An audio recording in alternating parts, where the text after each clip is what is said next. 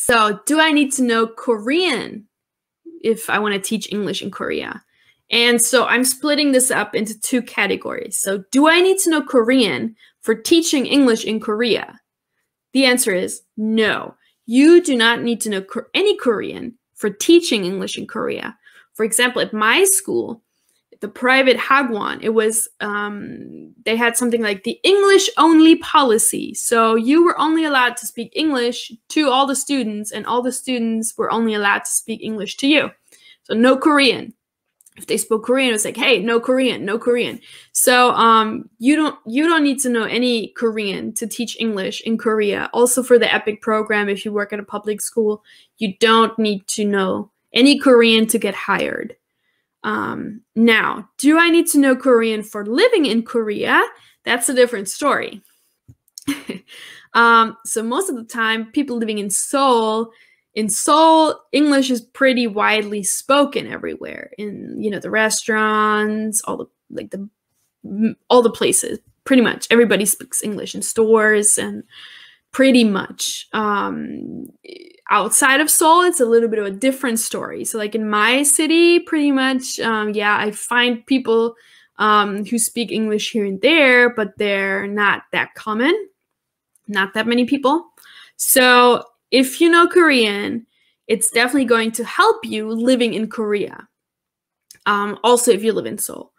Um, so I definitely recommend, you know, learning some Korean before you go um, just to help you, you know, settle in to your new life in Korea, make friends, just get around, you know.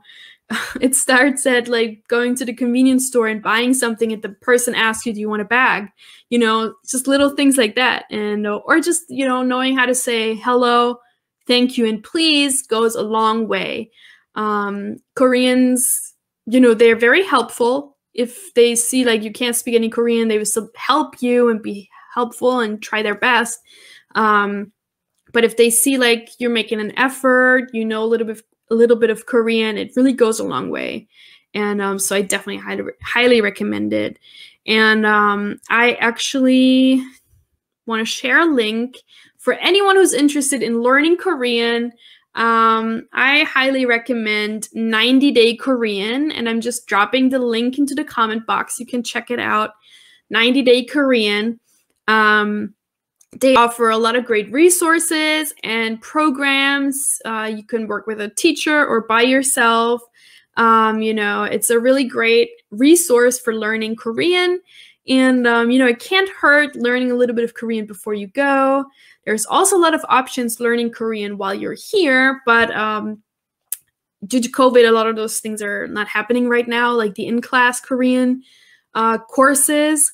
There also is a government sponsored course or program. It's called KIIP, the Korean uh, Korean Integration and Immigration Program, or something like that. So that's specifically for foreigners living in Korea.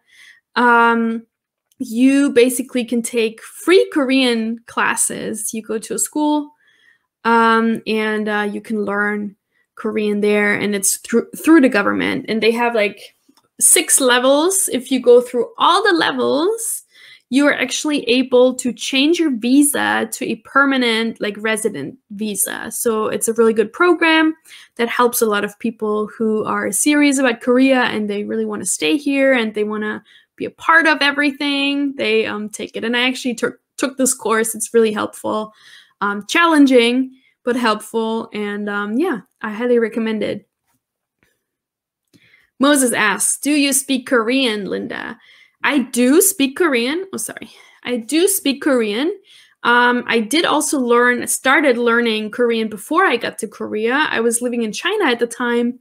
And um, I had, I met this girl who was Korean, who was from Korea, but she lived in China uh, with her family. And she taught me some Korean before I went. And then when I uh, moved here, I started um, taking Korean classes at the local YMCA here in my city. And then I also started with that KIIP program that I just talked about. And I did all the levels there. So um, I can speak Korean, but um, I wish it would be better after almost six years. Um, so I definitely need to, need to learn some more. but yeah. So yeah, check this out. Um, 90 Day Korean. I highly recommend it if you want to learn Korean. check it out. And then let me answer a question from Juliana. She asked, Do they have any Christian schools? Yes, actually, there's a lot of Christian schools in Korea. Um, also, maybe a fun or interesting fact about Korea about 50% of the population or the people in Korea are like, so it's like split 50 50, half and half. Half of them are Christian and half are Buddhist. So typically, older people tend to be Buddhist and younger people tend to be Christian sort of. Um, so yeah, but definitely there's a lot of Christian schools. Also, a lot of Christian private schools, Christian um, international schools. Definitely, yeah. Thanks so much for watching. We are ITTT, the leading provider for TEFL and TESOL training courses. If you like this video, please subscribe by clicking the button down here and click on any of the videos here on the left for more interesting teaching tips for getting certified to teach English abroad and online.